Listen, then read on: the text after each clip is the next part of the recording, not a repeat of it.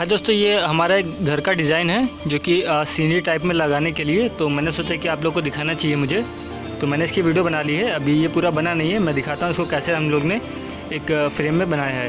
तो सबसे पहले जो एक, ये जो लकड़ियाँ हैं, ये बोर्ड की हैं, उन्नीस एम बोर्ड की, ये पूरा सोलह इंच का है, सोलह बाई दो इंच का। और इसके जो दो इंच का एक तिरछा खाँचा काटा गया है तिरछे में। और ये पूरा अलग है अभी, इसमें कील वगैरह मारनी है।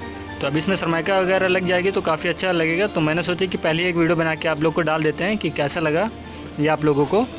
तो ये घर का डिज़ाइन है, अगर इसको सीनरी में भी हम लोग लगाते हैं तो ये काफ़ी अच्छा लगेगा इसको लगाने के बाद में। सब्सक्राइब करिए, बताइए हमें कैसा लगा ये।